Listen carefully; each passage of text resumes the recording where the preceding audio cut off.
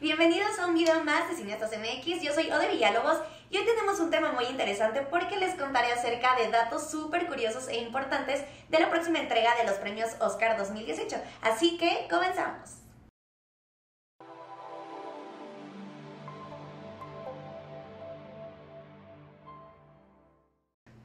Desde la NBA llega Kobe Bryant. Esta vez se encuentra nominado a Mejor Cortometraje Animado por Dear Basketball, en donde él mismo escribió el guion y por supuesto pues prestó su voz, aunque tal vez sea lo más cercano que veamos a los Lakers ganando algo importante este año. Octavia Spencer, nominada a Mejor Actriz de Reparto por La Forma del Agua, se convirtió junto con Viola Davis en ser las actrices afroamericanas más veces nominadas. En esta ocasión es su tercera nominación. Las dos veces pasadas pues fueron por Talentos Ocultos el año pasado e Historias Cruzadas de Help en el 2012, en donde se llevó a casa la estatuilla. Y bueno, las tres nominaciones han sido por Mejor Actriz de Reparto.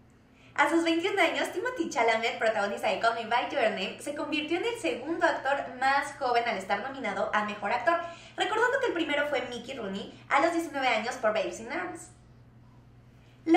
La que tal vez fue la última película en la que vimos a Hugh Jackman como Wolverine, se convirtió en la primera película de superhéroes en ser nominada a Mejor Guión Adaptado, aunque bueno, no es la primera película de superhéroes en ser nominada en algún tipo de guion, ya que en el 2005 Los Increíbles fue nominada pero a Mejor Guión Original.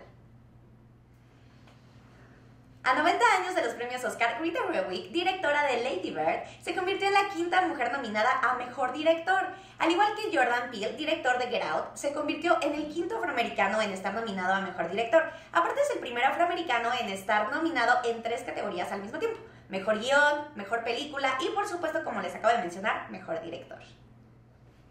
Mudbound de Netflix hizo historia con cuatro nominaciones, en donde en una de las categorías en las que se encuentra es el mejor guion adaptado de Dee Ruiz, que por cierto es la primera mujer afroamericana en estar nominada en esta categoría. También de esta película tenemos a Rachel Morrison, que está nominada a Mejor Cinematografía, y de hecho ella también es la primera mujer en recibir una nominación en esta categoría. Estas nominaciones nos pueden dejar ver cómo Netflix está ganando su lugar en la academia, pero otro caso importante eh, de Mudbone es de Mary J. Blish, quien es la primera persona en estar nominada al mismo tiempo, tanto en la categoría de Mejor Actriz de Reparto como en la categoría de Mejor Canción Original. Si eres de los que les fascinó Inception y la trilogía de The Dark Knight, entonces deben de estar familiarizados con Christopher Nolan, quien, aunque no lo creas, esta es la primera nominación a Mejor Director por Dunkerque. Christopher Plummer se ha convertido en el actor más grande al haber estado nominado en cualquier categoría de actor por la cinta Todo el dinero del mundo a los 88 años. Hay que recordar que Plummer reemplazó a Kevin Spacey después de que bueno, se le acusara por acoso en fechas anteriores. Goldie Harrelson y Sam Rockwell están nominados a Mejor Actor de Reparto por la misma cinta Tres Anuncios por un Crimen. Este caso no había sucedido desde el 2012, en donde Jessica Chastain y Octavia Spencer fueron nominadas por The Help. Sin embargo, Octavia Spencer fue la que se llevó ese año la estatuilla. Y bueno, si sientes simpatía por el Cruz Azul, quien no ha ganado ningún trofeo dentro de los últimos 20 años, seguro debes de tener más simpatía por el cinematógrafo Roger Dickens, quien en esta ocasión llega a su nominación número, imagínense, 14 por Play Runner 2049. Sin embargo, hasta la fecha no ha ganado ningún premio, así que esperamos que esta sea la ocasión y se lleve el codiciado galardón.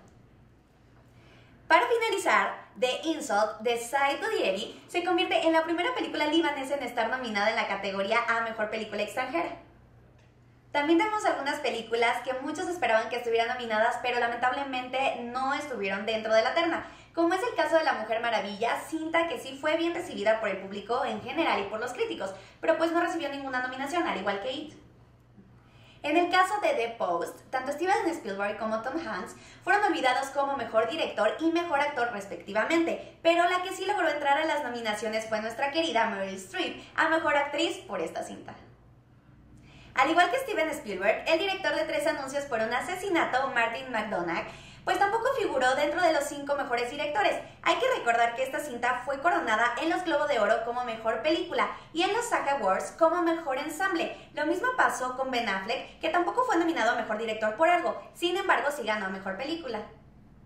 James Franco, quien a pesar de haber hecho una gran interpretación de Tommy Wiseau en The Disaster Artist, olvidado en la categoría Mejor Actor. Esto tal vez sea por la acusación que hay en su contra por abuso, la cual pues se lo adjudicaron en fechas recientes, pero bueno, la cinta sí está nominada a Mejor Guión Adaptado.